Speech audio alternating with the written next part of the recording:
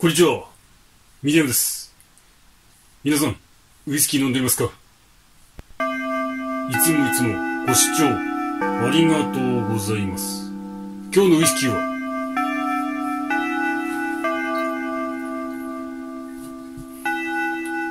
こちらです。ニックウイスキー、フロームザバレル。今日は本命です。いただいていきたいと思います。よろしくお願いします。ミディアムチはい、こんにちは、ミディアムです。今日もよろしくお願いします。えー本日はこれですね。ニッカウイスキー、フロムザバレル。えーこいつは、えー1985年、昭和60年に発売されたウイスキーなんですね。このとても気になる四角いフォルムですね。この四角いデザインはえーグラフィックデザイナーの佐藤拓さんというんですかね、まあ、この方が作ったらしいですね、強くて濃いウイスキーを表現するのに小さい魂にしたいという思いからこのボトルにしたということですね、え確かに魂を感じるボトルですね。で本日はこいつをいただいていきましょう。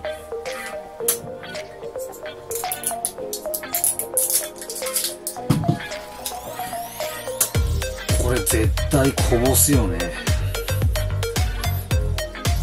うん何を見てもこぼしやすいって書いてたから。ああいい匂い。じゃあ20ミリうまいこぼさなかったはいじゃあ20ミリもうこのいい匂い。やっぱりアルコールの51度で強いのでアルコール感も匂い嗅いだだけでもすごいですね、まあ、フロムザバレルは熟成を経たモルト原酒とグレーン原酒を、えーブレンドした後にもう一度樽詰めして数ヶ月ほど。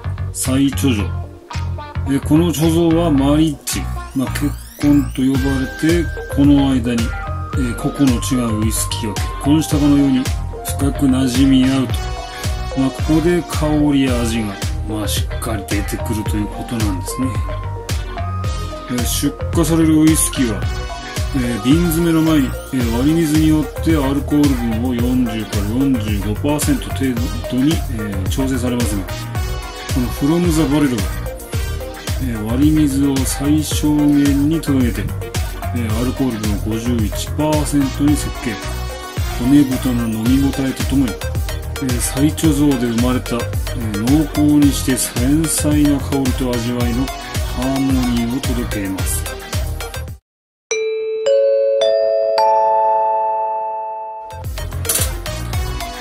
はいじゃあまずは香りから見ていきましょう。いい甘い匂いしますね。甘い香りと、まあ、かすかなタルコも匂いしますね。ストレートでいただきます。うんとってもいい香りといい味わいですね。まあしかしちょっとストレートではちょっと飲めないですね。トレサップにしましょう。ではトレサップにしていきます。ではトレサップでいただきます。あモルトグレーンのしっかりして味わいた香りがとてもしますね。やっぱり50度なんでトワイサップでもまだちょっと濃い感じはしますね。それではこれを入れてトワイサップにしていきましょう。じゃあ20ミリ注いでいきます。よっ。あーめっちゃこぼしちゃった。注ぎにくいです。じゃあ20ミリ。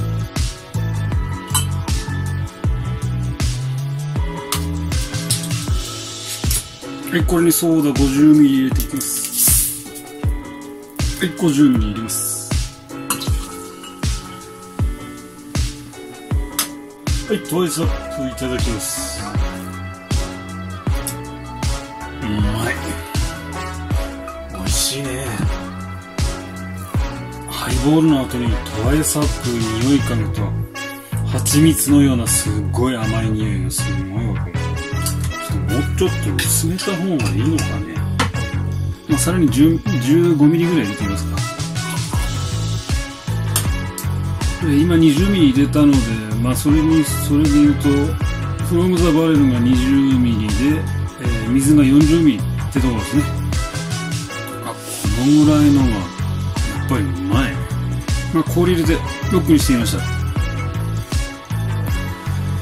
っぱ香りは常温の方が出ますけど、ロックでも美味しいね。あ、もうハイボールすっげえうまい。まあ、フロムザバレルは、まあ、比較的安価で、まあ、あまり宣伝もされていないのに圧倒的な人気を誇っているということなんですよね。だから私も最近酒屋でフロムザバレル見ないですよね。見かけたら買うようにしてるんですけど、意外にドンキホーテで見つけて買ったりしてるんですよね。ちょっと近々ドンキホーテに行って探しますかね。はい、それでは本日、えー、フロムザバレルの、えー、テイスティングレベルになります。えー、スイートは蜂蜜のようなそんな甘いわけじゃないんですが繊細な甘みですね。スイートが4、えー、フラワー、えー、モルトグレーンの味しっかりわかりますね、えー、フラワーが5バーベルピート。樽はかすかに感じるんですよね。うんかすかに感じるんですけど存在感がすごい。まあ樽が32、3ぐらいですね。えー、エスリンスパイスは特にないですね。1ですね。まあ私の感想としては、うん、とても美味しいとしか言いようがないですね。とても美味しいです、えー、スモーキーマップになりますが、えー、スモーキーの縦の軸は、えそんなに強いわけじゃないんですよね、スムースなスモーキーでいい香りですねグレーンですねグレーンもそんなに右軸に行くわけではないんですけどこれちょっとこのマップで表すのも難しいですね。え次に、え好きな飲み方ですが、えストレートは7、えトワイスアップは8、え氷を入れて、まあ、さらに水もちょっと出してロック。ロックにしたらとても美味しくなりましたね。え9ですね。で、ハイボールが10になります。やっぱりハイボールにするととても美味しい。